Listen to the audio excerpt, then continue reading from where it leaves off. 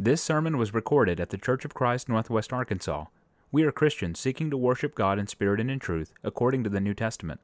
Come worship with us Sunday mornings at 10:30 at 1708 Elm Springs Road in Springdale, Arkansas. I'd like to join the other brethren in welcoming everybody here this morning. I appreciate that you made it so we could worship God together. Uh, thank you for the participation in the song service. The singing has been great. It's definitely edifying for me and, and help builds me up, so I appreciate that. I also appreciate the prayers on my behalf. And it's my prayer that the things that we study this morning will be in strict accordance to God's Word, uh, and that they'll be useful to you, that they'll be beneficial, and something that you can learn as we continue our Christian walk together. If you remember last time I spoke a few weeks ago, we talked about the Lord's church, and we talked about just different characteristics of the church. We talked about uh, the name, the structure, both universally and the structure for a congregation. We talked about authority and where that authority comes from and different principles that we're supposed to follow um, as the church and uh, as disciples of Christ. And I want to continue that thought this morning. Um, we're specifically going to be talking about, as the church, how are we called to worship God?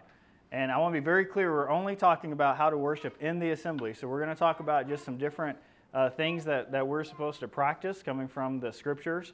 Um, and I'm only referring to when we assemble together. So this is not uh, all, all the time. So we're going to look at some different things of how we're supposed to worship.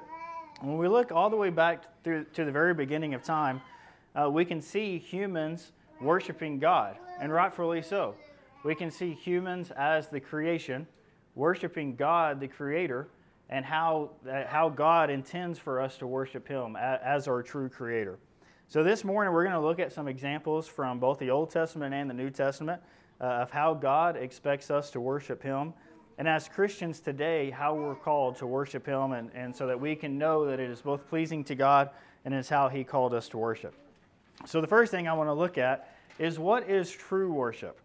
Well, when you look over in the book of John, chapter 4, verse 23 and 24, this is Jesus talking here. And Jesus says, But the hour cometh, and now is, when the true worshipers shall worship the, fear, the Father in spirit and in truth. For the Father seeketh such to worship him. God is a spirit, and they that worship him must worship him in spirit and in truth. So we can see that Jesus is telling us that the true worshipers, if we want our worship to be true, and we want it to be acceptable to God, it has to consist of two different components. And it has to be with the Spirit and it has to be in truth. So let's look at those couple things. What is in spirit means? Well, in layman's terms, it really just means with your whole heart. You have to worship God and you have to truly be into it with your heart. If you look over in Mark chapter 12, verse 30, this is Jesus talking again. And Jesus says, And thou shalt love the Lord thy God with all thy heart, with all thy soul, and with all thy mind and with all thy strength. This is the first commandment. You know, when we think about this love that we have towards God, it, it really is this love that should help us worship God the way that God wants us to worship. So it's with all your heart, it's with everything that you've got.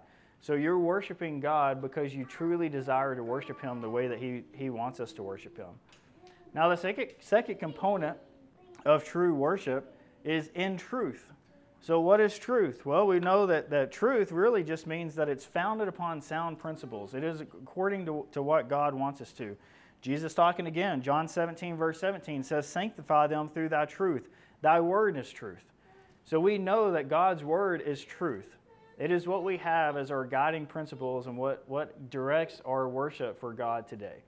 So, if you're looking at true worship, it's both in the spirit with your whole heart with everything you've got, meaning you truly mean it.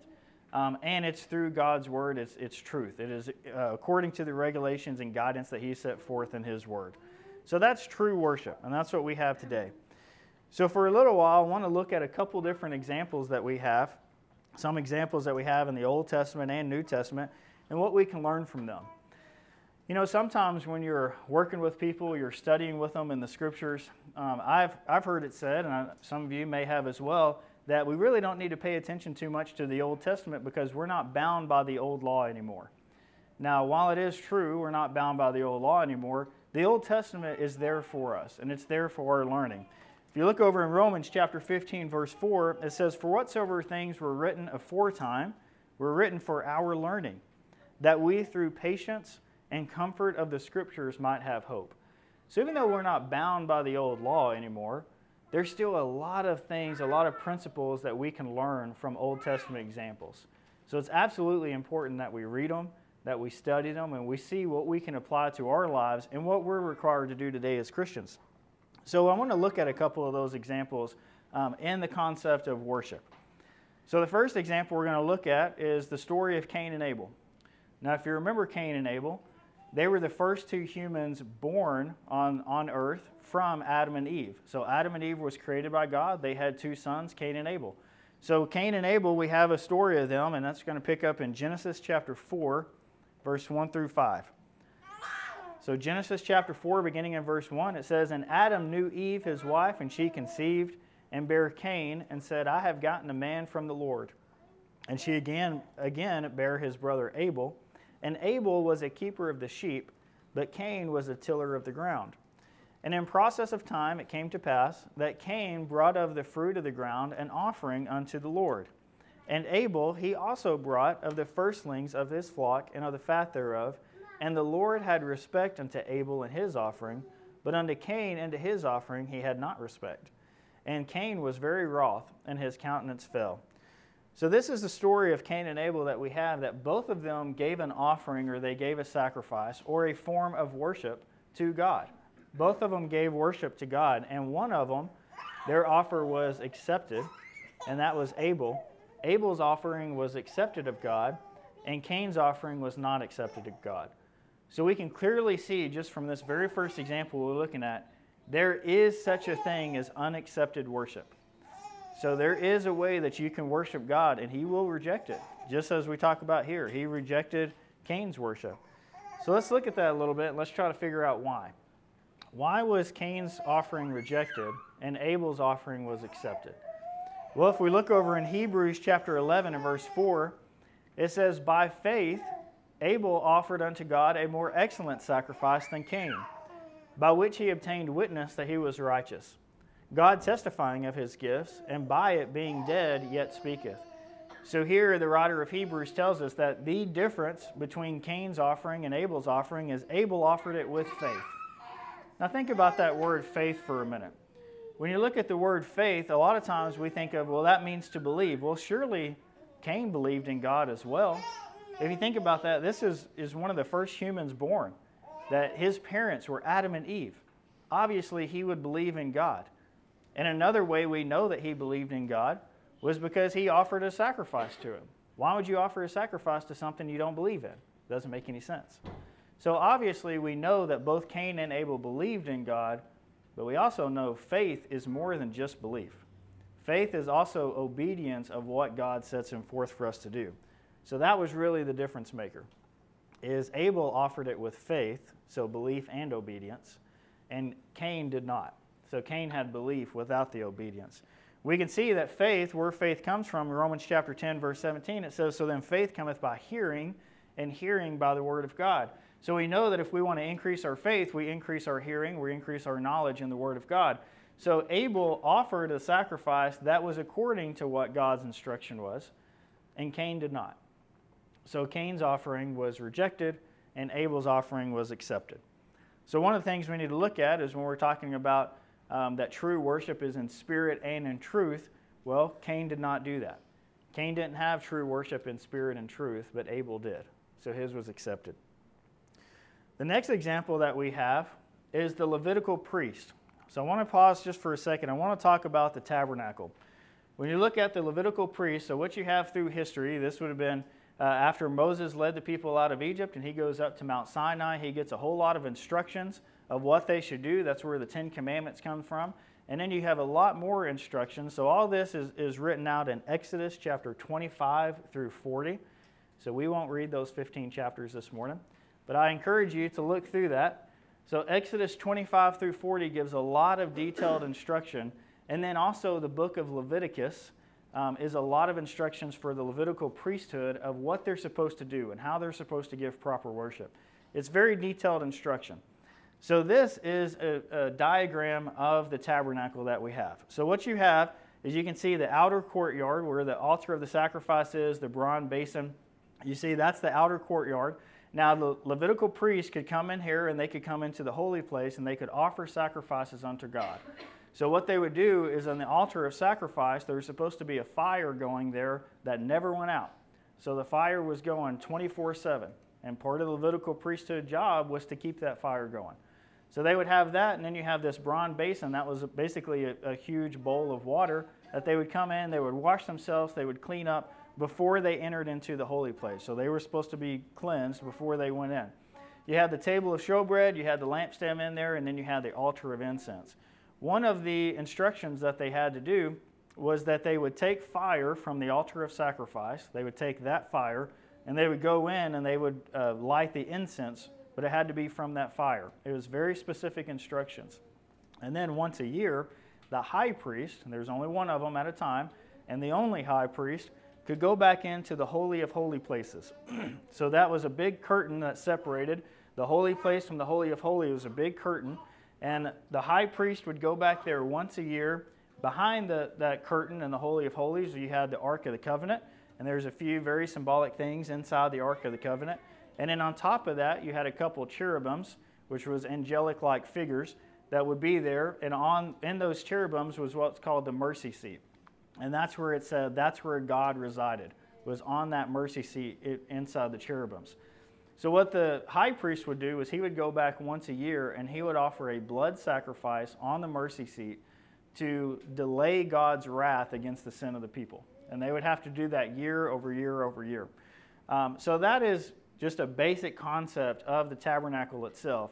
And there's a whole lot more very detailed instructions of how they were supposed to move the thing, how they were supposed to set it up, the different sides. You can see the, at the top there, the north side, so it's supposed to be facing a certain way at all times.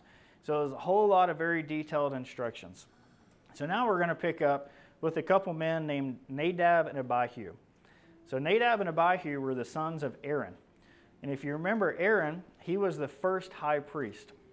So the first one that God had set in. So and then his sons, Nadab and Abihu, were also going to be priests of the Levitical priesthood. So they were called to go serve and to do these certain things like, like light the incense and make sure that the things were taken care of. So we're going to pick up the story there with Nadab and Abihu, and that's in Leviticus chapter 10, verse 1 and 2. So Leviticus 10, chapter, 1, or chapter 10, verse 1 says, And Nadab and Abihu, the sons of Aaron, took either of them his censer and put fire therein, and put incense thereon, and offered strange fire before the Lord, which he commanded them not. And they went out, and there went out fire from the Lord and devoured them, and they died before the Lord. So, you know, we can look at this and we can see just these couple of verses that, well, at first, Nadab and Abihu, they were kind of doing what God told them to do. They were going to take a fire and they were going to light the incense. Remember that you had this altar of incense here in the tabernacle. Nadab and Abihu, they were doing part of their job and just go and they were going to light that as a sacrifice unto God. But look at that at the end of verse 1. It says, But they offered a strange fire. When you look up that word strange, it really means an unauthorized. So they, they offered an unauthorized fire before God. So if you remember, part of the instructions was the altar of sacrifice over there in the outer courtyard was supposed to have a fire running 24 7 and never went out. That's the fire that was supposed to be used to the altar of incense. I don't know what fire Nadab and Abihu did use, but it wasn't that one. It was a strange fire. Now we look at it as humans and we say, fire is fire. What's it matter what the source comes from? It's fire. It's still going to light the incense, it's still going to offer a sacrifice. But it's apparent to us that God looks at that differently. God looks at it of He has commanded them to use that fire from the altar of incense, not just any fire. So God had wrath upon them. So, verse 2, it says, And there went out a fire from the Lord and devoured them, and they died before the Lord. Now, we can look at this as pretty harsh, or we can look at this as, and that's just rough. Nadab and Abihu, they just were doing their job. And they, okay, they got one little detail wrong. But God looks at that as that's a very important detail. So their worship that was sent up to God was rejected. And Nadab and Abihu had to pay the price for that. So we can learn from these examples that we can learn that whatever God puts into practice, it cuts off everything else. So if God says do this, that means you do that and only that. And, and you do that the way that He wants us to do. And Nadab and Abihu apparently did not follow after that way. Now, the third example that we have is going to come from the New Testament. So, the third example, this is Jesus talking here in the book of Matthew, chapter 15. We'll read verse 3 through 9. So it says, But he answered and said unto them, Why do ye also transgress the commandment of God by your tradition? For God commanded, saying, Honor thy father and mother, and he that curseth father or mother, let him die, to, die the death. But ye say, Whosoever shall say to his father or his mother, It is a gift, by whatsoever thou mightest be profited by me, and honoreth not his father or his mother, he shall be free. Thus have ye made the commandment of God of none effect by your tradition. Ye hypocrites, will did Esaias prophesy of you, saying, These people draweth nigh unto me with their mouth, and honoreth me with their lips, but their heart is far from me. But in vain they do worship me, teaching for doctrines the commandments of men.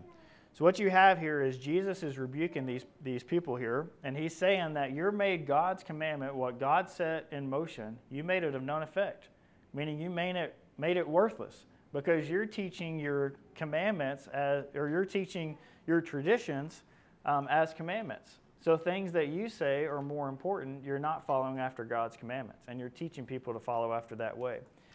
And then Jesus tells us there in verse 8 that they draw nigh to me with their mouth. It sounds good. What they say sounds like they really want to worship God and follow after Him, but that worship is in vain.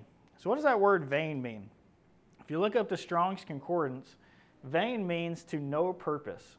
So, you're doing something that doesn't have any purpose. It also means that it's empty, it's unprofitable, and it's fruitless.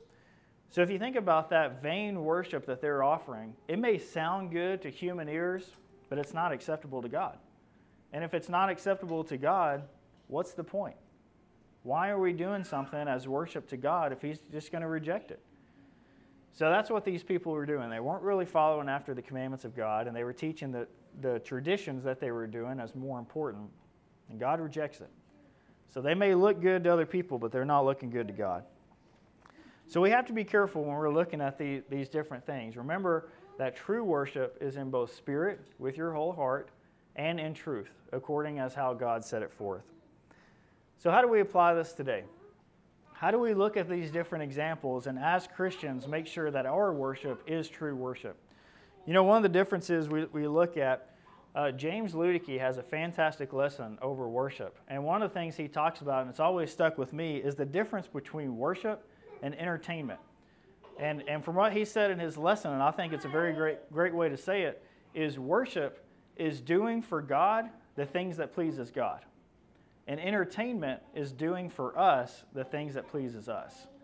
So we have to look at are we doing things for worship, things to please God and the way that He set forth, or are we doing things for entertainment, things that please us? So you know there's a there's a lot of different organizations out in the world today that call themselves churches and they have church on the side of the building, that they're, quite frankly, just not following after in the New Testament scriptures that we have. Those would be things of entertainment. They're doing things that please them because they want to do those. That's not worship.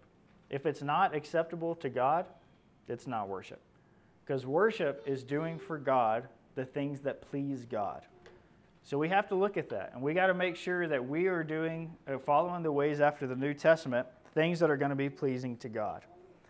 Another thing that we have to be careful of is we are a relatively conservative organization or group of people compared to other organizations out there. We're pretty conservative. So, one thing that we have to be careful of is making sure we're not being so conservative or so to the book that we forget the entire purpose of it, anyways.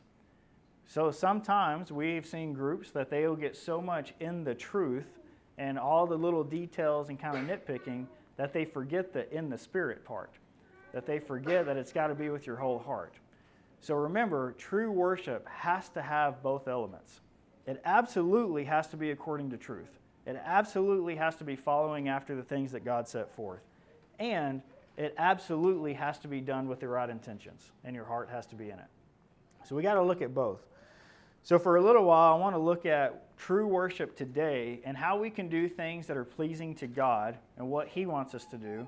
And the great thing we know about it is if you're doing it with your whole heart, it can be pleasing to you too. It's okay to do something pleasing to God and please yourself.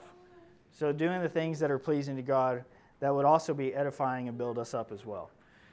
So, when we're called and when we come to the assembly, we want to look at that we're specifically talking about in the assembly here.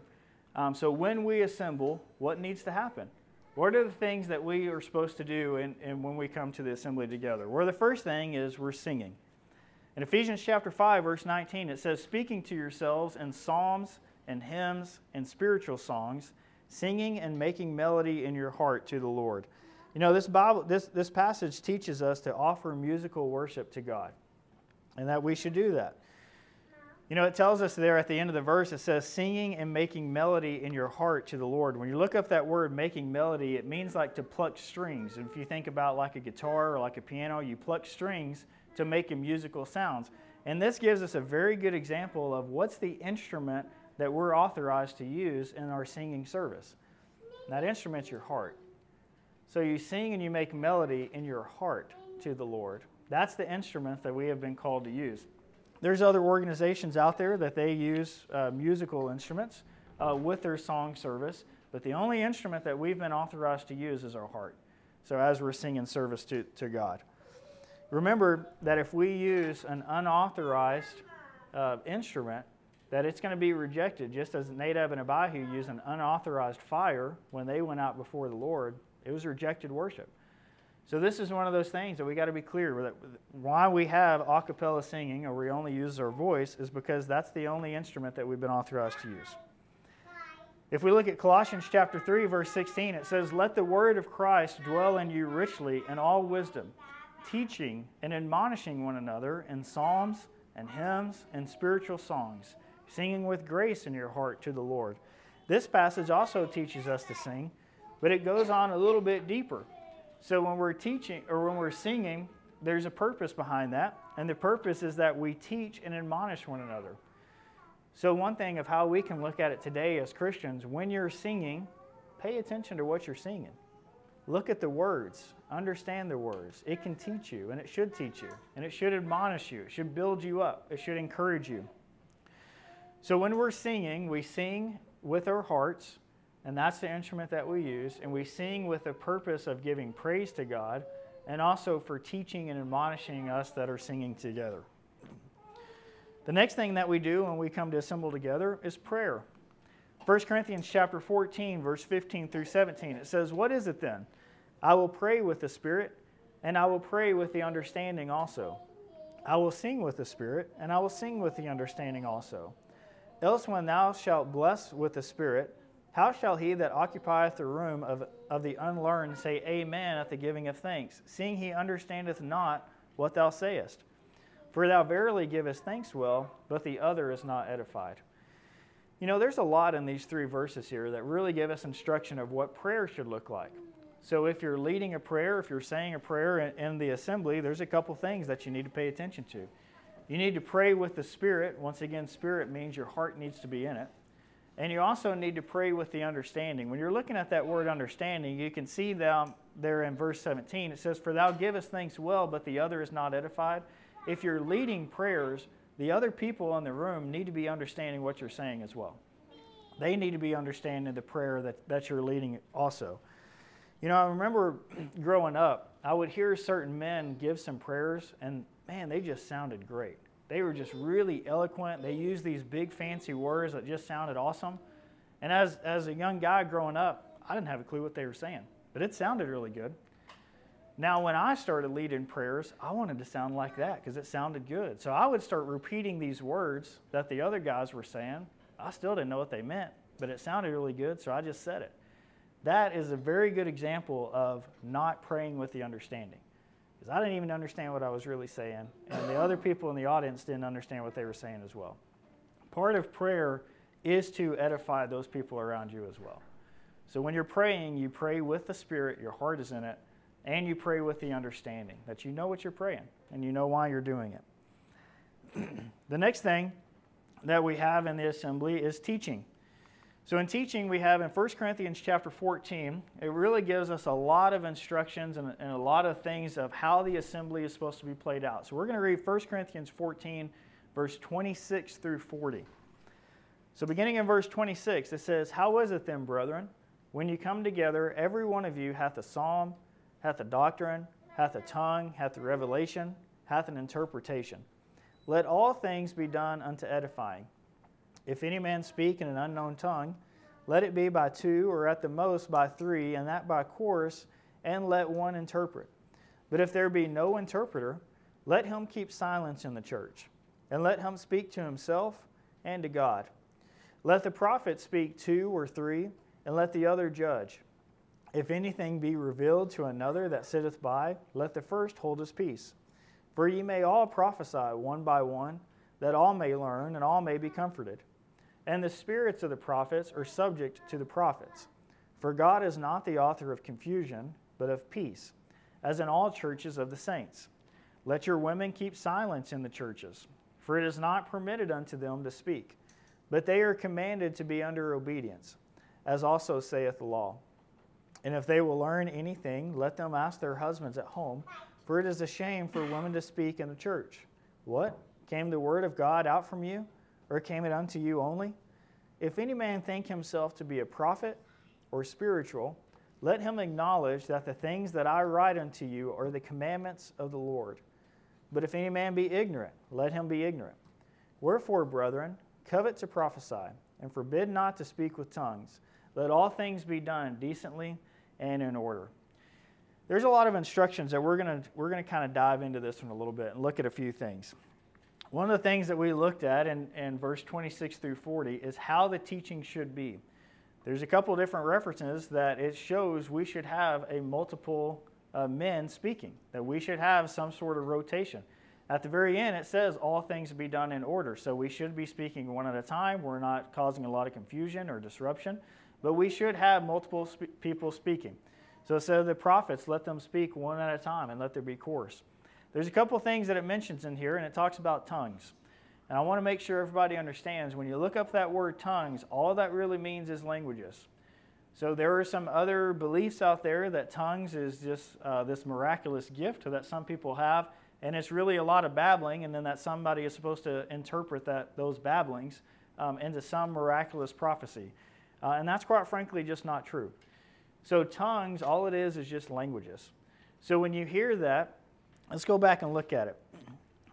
So when you hear uh, in 27, it says, If any man speak in an unknown tongue, if any man speak in an unknown language, let it be by two or, about, or at the most by three, and that by course, and let one interpret. That would be like if we brought someone in and they could only speak Spanish. If they brought in and they could speak Spanish and they start preaching in Spanish, I'm not going to understand hardly anything they say. I might get one word out of every 50 and it's not going to be much. So if you think about that, how is that really going to edify people if most of the congregation can't understand Spanish? Well, it's not. It's not really going to edify them. It may be great for the speaker, and he may have some really amazing thoughts that he's bringing out from the scriptures, but it's not really doing a whole lot of good to the audience because it's not edifying them. So the instructions that we have is it's totally fine to bring someone else in with an unknown language to speak to us as long as there's an interpreter. So, as long as we can interpret what he's saying from Spanish to English and we can understand that, then we can do that. So, it's okay to, to speak in an unknown, unknown language. A couple other things it talks about is so we should have plurality of speech, speakers, we should have multiple, not just on one man. Um, we should make sure that, that there's an interpretation if it's in an unknown language. It also talks about how the women should keep silent. So we know from the scriptures that it's only the men that are supposed to speak. And I know this can cause a lot of disruption. There's a lot of people who disagree with that, but I didn't write these words. They're just in there. And it's evident to, evident to me that Paul may have faced the same things when he was writing these as well. If you look at it down a little bit, after he talks about that the women are to keep silence, look in verse 36. After he tells that, you know, it's a shame for women to speak in the church, then he says, What? Came the word out of you, came the word of God out from you, or came it unto you only? And then he goes on and says, Let him acknowledge that the things that I write unto you are commandments of the Lord. So Paul is further backing up, is like, you may disagree that women should keep silence in the church, but it's the commandments of God. So that's why only the men are permitted to speak in the congregation when we assemble together. And remember, we're only talking about when we assemble together. It is, it is really fine and it's actually encouraged for women to teach outside the assembly. If you look in the book of Titus, it talks about let the older women teach the younger women. So there is definitely a time and place that women should be teaching, they should be speaking, just not when we assemble together for the purpose of worshiping God.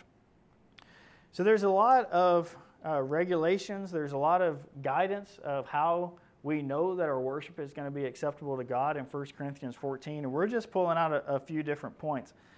You know, there's many religions that completely ignore these, these regulations, but this is how the Lord set it up.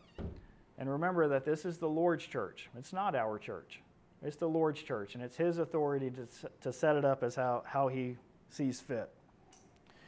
The next thing we're going to look at of something we do when we come together in the assembly is communion. Acts chapter 20, verse 7, it says that upon the first day of the week, when the disciples came together to break bread, Paul preached unto them, ready to depart on the morrow, and continued his speech until midnight. So, the example we have here in Acts chapter 20, it says that upon the first day of the week, the first day of the week is Sunday. So, Sunday is the first day of the week when we come together for the purpose of breaking bread. There's a lot of different uh, religious organizations that they uh, don't do it every week. And, you know, when you look at this verse, it doesn't say on the first day of the week every week. However, the question that, that just comes to mind, it says on the first day of the week. Well, which week? which week we're supposed to do it. There's some organizations that uh, they'll take communion once a year, and it's typically it's usually tied to around Easter time that they'll do uh, communion once a year. Some will do it once a quarter, some will do it once a month, some will do it twice a year. Uh, they kind of come up with their own routine. What we see here in Acts chapter 20, verse 7, it says, Upon the first day of the week, when the disciples came together to break bread. So if you look at that, upon the first day of the week, to me, the safe zone is that's every week. So upon the first day of the week, it's every week that we come together to break bread. So that's what we do for the communion service.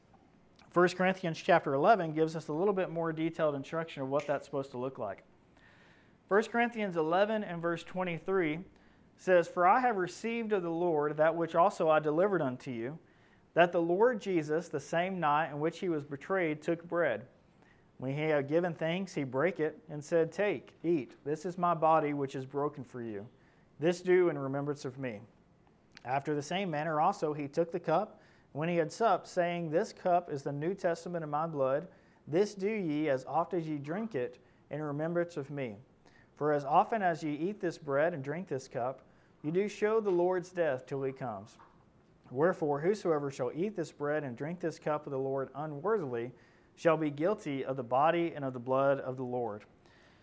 But let a man examine himself and so let him eat of that bread and drink of that cup. For he that eateth and drinketh unworthily eateth and drinketh damnation to himself, not discerning the Lord's body. For this cause many are weak and sickly among you, and many sleep. So there's a lot of instructions when we talk about the communion service that Paul was writing to the church at Corinth, and it instructs us as well today of how we're supposed to take of this communion. So first, we have the bread, which represents God's body that was given for us. And then we have the fruit of the vine, which represents the blood that was given for us. We're supposed to take of the bread and we're supposed to take of the fruit of the vine. We're also supposed to bless each one before we take it. So it says there in verse 24, it says, And when he had given thanks, he break it and said, Take, eat, this is my body. So when you're leading the communion service, you're supposed to make sure the bread is blessed before it's passed out so that the audience can take it. Same thing with the fruit of the vine. When you take the fruit of the vine, it says he blessed the cup before they took of it. So we, we have to make sure we, we take in a way that is pleasing unto him. We also are making sure the purpose of this is to remember him, remember the Lord's death until he comes. So when we're taking of the, the communion, we bless it, and then we take it and we think about the sacrifice that was made. Then it talks about in verse 27, it says, Whosoever eat this bread and drink this cup of the Lord unworthily. And I want to make sure it's very clear that word unworthily doesn't mean that you are personally worthy or not worthy to take of the bread and take of the fruit of the vine, because let's be real, none of us are worthy of it. None of us are worthy of that sacrifice that God has made for us. None of us are worthy continue to take upon it and that it washes our sins away So that word unworthily means in an unworthily manner, that you're not doing it the way that God wants you to do it. Then it further gives us more instructions that it says in verse 28. So to do it in an, an unworthily manner means that you're not examining yourself. When you look at verse 27 and 28, let's read that again. 27, it says, Wherefore whosoever shall eat this bread and drink of this cup of the Lord unworthily shall be guilty of the body and the blood of the Lord. But, when you look at that word but, that means you're changing. You're going in the different direction. So he just talked about you're eating of this bread and drinking of this cup unworthily. So you're doing it in a way that's not pleasing to God. But, so if you want to do it in a way that is pleasing to God, let a man examine himself. And so let him eat of that bread and drink of the cup. So Paul is telling us if we want to do it in a worthy manner, that you examine yourself. So this is a time that's very important. When you're taking of the communion, you're examining yourself. You're thinking about your own life. You're thinking about your walk as a Christian. You're thinking about maybe sins in your life that you need to repent of and things that you need to turn away from. You're thinking about the work that you do for the kingdom and how you should be working for God and doing the things that He wants you. You examine your own life. And that's not the only thing that you examine. Let's continue in verse 29. 29 says, For he that eateth and drinketh unworthily eateth and drinketh damnation to himself, not discerning the Lord's body. Something else that should be on your mind during the communion service is you're thinking about the sacrifice that was made for you. You're thinking about what are we really doing here? That we're remembering God's sacrifice, we're remembering that Jesus came down and gave his life on the cross for our sins, that the bread represents that body that was given for us. Let's think about that body. That the blood represents, or the, the fruit of the vine represents the blood that washes away our sins. Let's think about that blood. Let's think about that sacrifice. So during the communion service, a lot happens than just taking a little piece of cracker and eating and a little cup of juice. It's an important service. You're examining yourself, you're thinking about the sacrifice that was made for you, and you're truly doing it the way that God wants you to. And we remember that we're doing this until the Lord returns. So it's on the first day of the week. We take of the fruit of the vine, we take of the bread, we examine ourselves, we think about God's sacrifice for us, and we do it till He returns. So that is about the communion service and why we do it the way that we do it. The next thing that we're looking at is contribution. In contribution, 1 Corinthians 16, verse 1 and 2, it says, Now concerning the collection of the saints, as I have given order to the churches of Galatia, even so do ye. Upon the first day of the week, let every one of you lay by him in store as God has prospered him, that there be no gatherings when I come. So Paul's writing to the church at Corinth here, and he's given them the instruction upon the first day of the week to lay by a contribution to lay by some money and things that you've been prospered with so that other people can be benefited from it if they need it. You know, it's interesting, we just talked about the communion, and in Acts chapter 20, in the communion, it says, And upon the first day of the week, when the disciples came together to break bread, and sometimes that can be interpreted on once a year, twice a year, once a quarter, whatever, all these different things. Looking at this in the contribution, in verse 2, it says, And upon the first day of the week, let every one of you lay by him in store. It's interesting to me that a lot of the religious organizations that don't do the communion every week, they absolutely still take a collection every week. And they will use this example as, or they use this verse as their example to follow. And the verse is upon the first day of the week. If you look over in Acts chapter 20, verse 7, it's the exact same phrase upon the first day of the week when they came to break bread. So it's just interesting to me that we see that it's upon the first day of the week we're supposed to lay by him, uh, lay by and store as God has prospered him. Now, one thing too that's different in the New Testament versus the Old Testament, or specifically the, the Mosaical law, is in the Old Testament they would do what's called tithing. And tithing means they give one tenth of what they had, or 10%. So that's what they were required to give. And it was basically a fixed amount that whether they liked it or not, this is what God required of them. The New Testament's different. In the New Testament, we don't have a, a set amount that you're supposed to get. It doesn't matter how much God has blessed you with, or how much uh, wealth you have, or how little you have. The amount doesn't matter. But it says there that we're supposed to give as God has prospered us. So, as God blesses you, then He expects that you will uh, give some back to the kingdom so that other people will have enough or they'll have things if, if they're in a down moment. Um, so we're supposed to give as God has prospered. It's not a fixed amount. We're also supposed to give generously. 2 Corinthians chapter 9, verse 6, it says, But this I say, he which soweth sparingly shall reap also sparingly, and he that soweth bountifully shall also reap bountifully. Every man according as he purposeth in his heart, so let him give, not grudgingly or of necessity, for God loves a cheerful giver. So, this is just another example of what we should be doing and how we should give. It's not grudgingly, but we should be giving cheerfully. We should desire to give to be able to help out. Uh, and it is no fixed amount when, when you give. So, these are just a few of the things that we follow. When you look at uh, the New Testament church, the church that Christ has instilled, and specifically the worship service and the assembly, of the regulations or the guidelines that we should follow for the purpose of making sure that our worship is accepted to Him. So we want our worship to be acceptable. So when we think about true worship in the assembly, we should all desire to be true worshipers for God. And that's worshiping in spirit and in truth. We should all want that as Christians. We should all want that our worship is accepted. We want to make sure the things that we're doing is not in vain, but they truly have a purpose. And the purpose is so that it would be pleasing to God.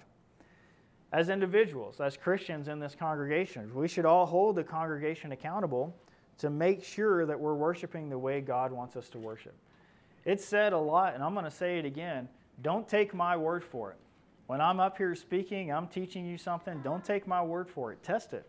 Be like the Bereans, it talks about in Acts. Make sure that you receive the word with all readiness of mind, that you listen, you pay attention, but then you test it against the scriptures and make sure whatever is being taught is true.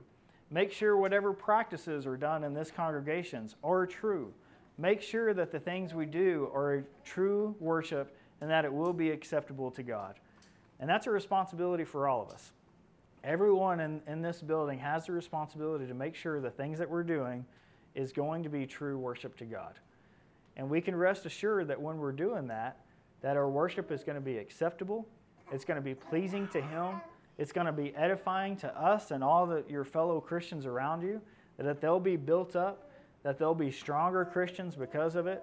The kingdom will grow. There's so many different benefits that we know when true worship is happening in the assembly. And this is the true worship that we're called out to do. When we think about all the things that God has done for us, we think about, for one, He created us. Every good thing, every blessing that we have comes from God. All the different things He gives for us, to the point that He even gave His only Son to live among us and give His life on the cross for our sins, to clean up our mistakes, to help clean up our mess so that we can have and restore that relationship with Him. We think about all these things that God has done for us. It's a really small ask for us to just worship the way that He wants us to worship Him. And I think that's the least we can do as Christians is just do the things to God that are pleasing to God and have true worship in spirit and in truth. So as we as we close this service, I want to think about these going forward, and I hope you all can see the importance of true worship in the assembly, and hopefully that we will all will do the best we can to make sure we are being those true worshipers, that we're worshiping in spirit and in truth. And if there's any among here uh, this morning that are struggling with anything, if you need the prayers of the church, you need encouragement, you need lifting up, then that's what we're here for. We're here to help you out as your brothers and sisters in Christ. If there's any who haven't started their walk with Christ and you still have sin in your life that you haven't been forgiven of through, through baptism and you want to use that blood that we talked about this morning to wash away those sins, we can help you with that too. So if there's some who would like to start their walk with Christ or if you need the prayers of the church for any reason, I ask you to come and have a seat on the front pew while we stand and sing the song that's been selected. We hope you enjoyed this teaching from God's Word.